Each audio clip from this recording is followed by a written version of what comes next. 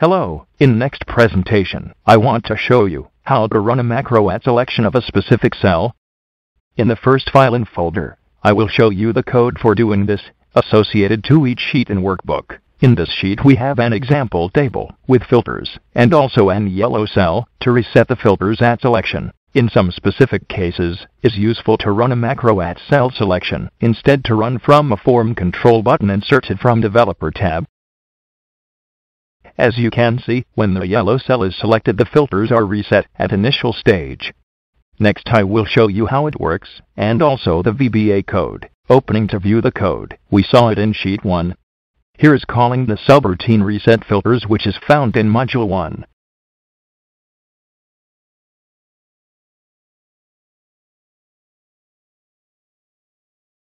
So, important is the way you can call the macro from module at F1 cell select. Next, if I make a copy of this sheet in the workbook and select the yellow cell in this new sheet, it will work as shown.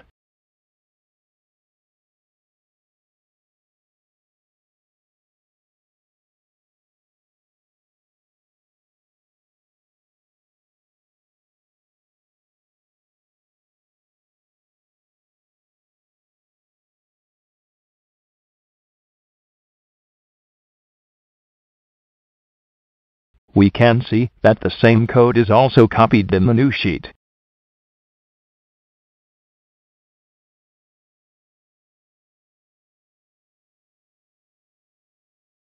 In the second example file, I will show you another code running at cell select, but this time the code is stored in worksheet.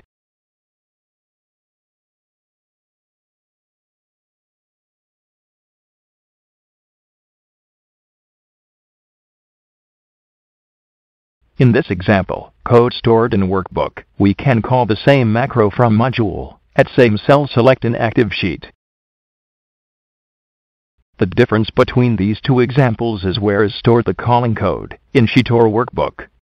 In the first case in each sheet, we have the same code or variation of a cell selection address. Also we can call different macros from different modules in each sheet. Depending of your needs, you can use and adapt one or other variant I hope you will find useful my presentation.